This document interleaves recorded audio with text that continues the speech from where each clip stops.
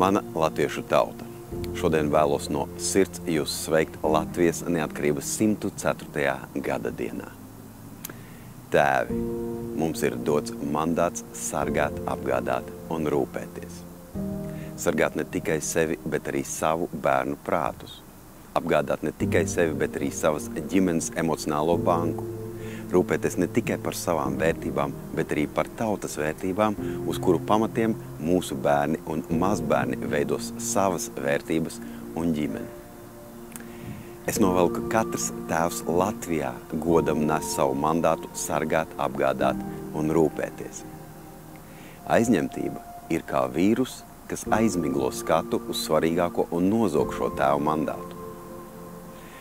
Tāpēc es novēlu, ka katrs tēvs Latvijā skatītos ilgtermiņā, redzētu savus bērnu bērnus, lepojamies par savu vecstāvu, kurš rādīs ne tikai vērtību dzīvesveidu, bet arī aktīvi pretojies svešām ideoloģijām.